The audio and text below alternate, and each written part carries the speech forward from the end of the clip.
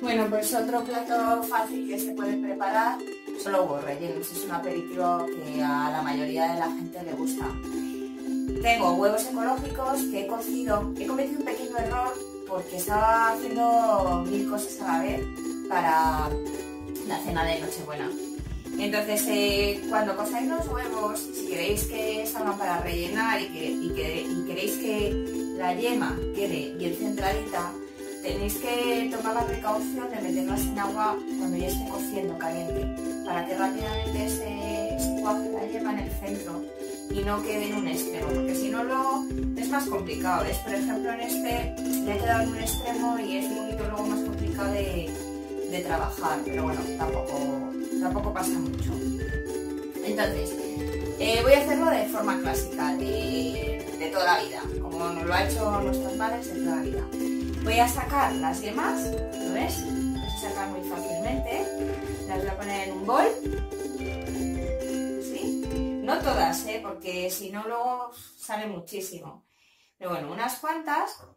Y, y le voy a añadir así una latita de atún en tomate. Entonces menuzo todo.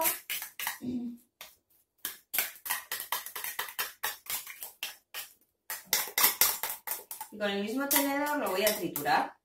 Así. tras, tras.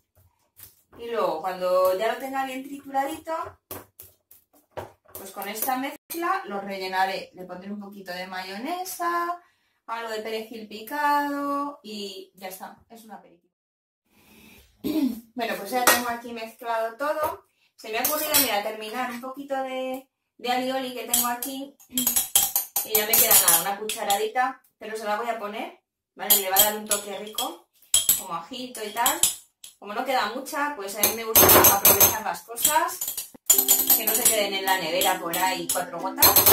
Pues lo voy a mezclar aquí, ¿sabes? Y ya lo aprovecho.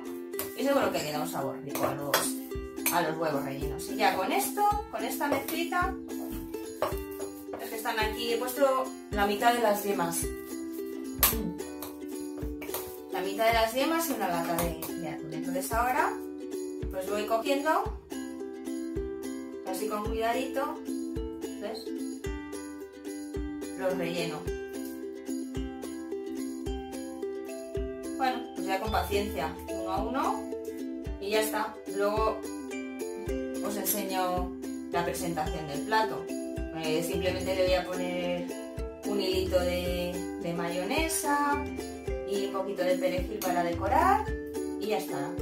Nuestro, nuestro aperitivo, que esto, esto ya te digo que lo agradece al final todo el mundo, porque el huevo le gusta a la mayoría de las personas. Así que nada, que aprovechen.